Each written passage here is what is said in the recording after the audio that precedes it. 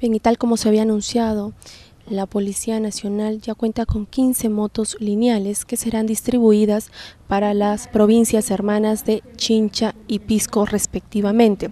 Son modernas motocicletas que han sido destinadas para la región de Ica en aras de contribuir con la seguridad ciudadana. Ya se encuentra en el Círculo Deportivo de la Región Policial de Ica el general Arturo Prado Blas por parte del Comando Institucional a esta región policial de las mismas que serán destinadas a las divisiones policiales.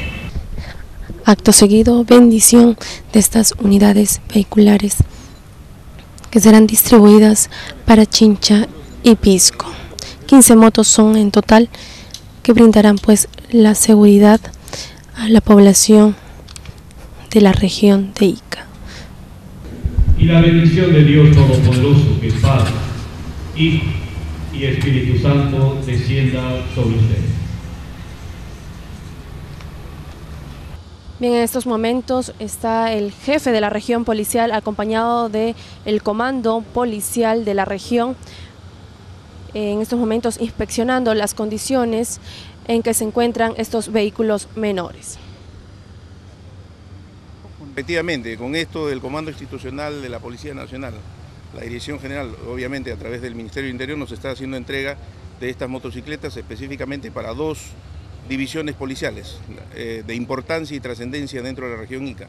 Es la División Policial Chincha y la División Policial Ica. ¿Cuál es lo que tanto estaría permitiendo avanzar en el parque automotor de la policía? Bueno, como les dije, estamos incrementando en un 20% y un 25 o 30% en lo que se refiere a cada una de las divisiones ya mencionadas. Pero eso es el, plan, el plan de, implementación es progresivo de parte del comando institucional. ¿Qué va a pasar, por ejemplo, con las provincias de Marcona, Nazca, Palpa? Eso se tiene previsto ya la implementación a través de patrulleros inteligentes y patrulleros que está en proceso de adquisición y ya nosotros tenemos una dotación ya especificada por el comando para efectos de que nos brinden esa, ese incremento. General, ¿por qué priorizar Chincha y Pisco? ¿Cuál es el reporte, el índice delictivo que se tiene en estos momentos?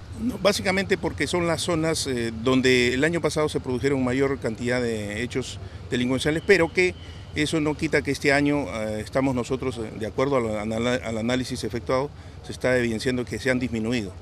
Obviamente que eso es por el trabajo que viene desarrollando cada uno de los efectivos policiales y es el trabajo en equipo. ¿Quiere decir que están trabajando también con los alcaldes, las autoridades municipales en esta orientación? Por supuesto.